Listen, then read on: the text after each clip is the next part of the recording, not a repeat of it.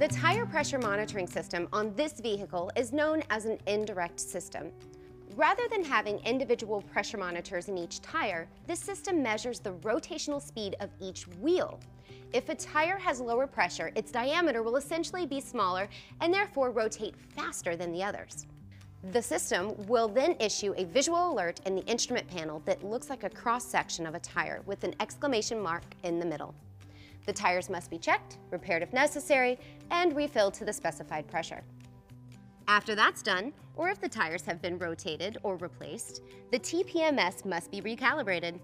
The process must be initiated with the vehicle in park and the ignition on. For vehicles without the TPMS button, go to the home screen on the display audio and select Settings and then Vehicle. Touch TPMS calibration and then choose Calibrate. Again, the process will be completed automatically.